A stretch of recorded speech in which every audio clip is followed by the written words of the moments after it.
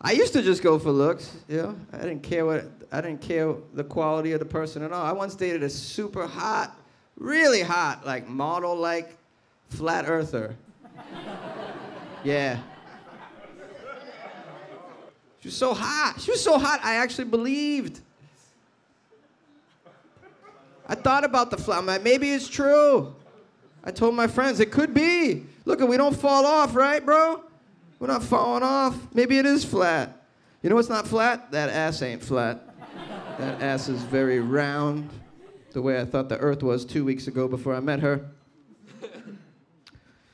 now I go for a lot of behaviors and personality qualities. I think that's how I know I'm, I'm breaking through to the land of adulthood, you know?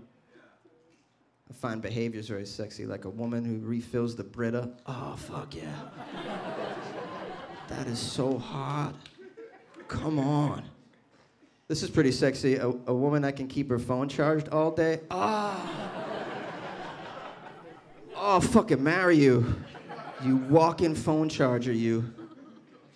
I like a woman who doesn't like have all the answers and doesn't need to be right all the time. I think that's an awesome quality, you know. These are very sexy words to hear from somebody. Yeah. You know what, hon? I think I might have been wrong back there. What? Or even better, you know what, babe? I don't know.